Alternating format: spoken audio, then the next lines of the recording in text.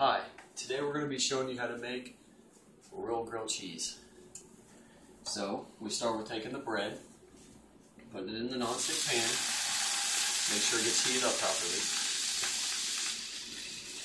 So we put the piece of cheese on there, and we take the other piece. See how it's not all smeared on there with, you know, the margarine butter. It's got, it's got little specklets of real butter on there. You always want to use real butter, never that fake margarine stuff.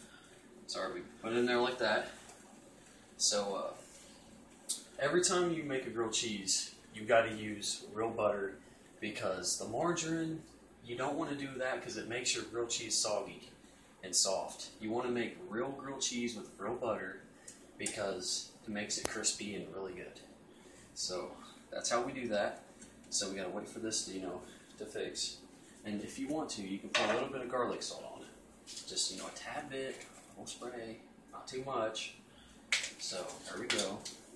And uh, they, one thing to say about margarine butter is it's one molecule away from plastic. So you're basically, if you put fake butter on it, margarine, you're, you're basically eating a plastic sandwich with cheese. You don't want to do that. You want to put real butter. Go buy real butter. Don't waste money on fake stuff.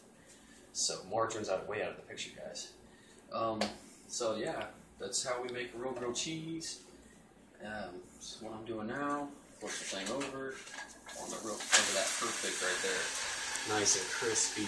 Look at that, guys. That's how you make a real grilled cheese. Not no fake stuff. So please don't waste your money. Please.